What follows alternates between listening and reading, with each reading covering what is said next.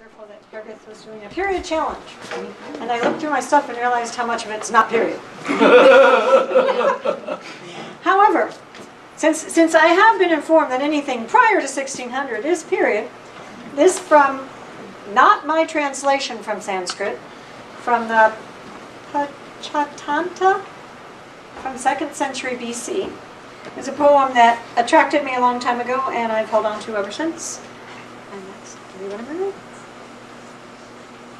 In sensuous coil and heartless toil, in sinuous course and armored force, in savage harms that yield to charms, in all these things are snakes like kings.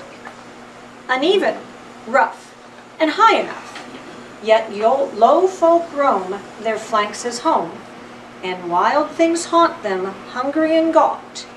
In all these things are hills like kings.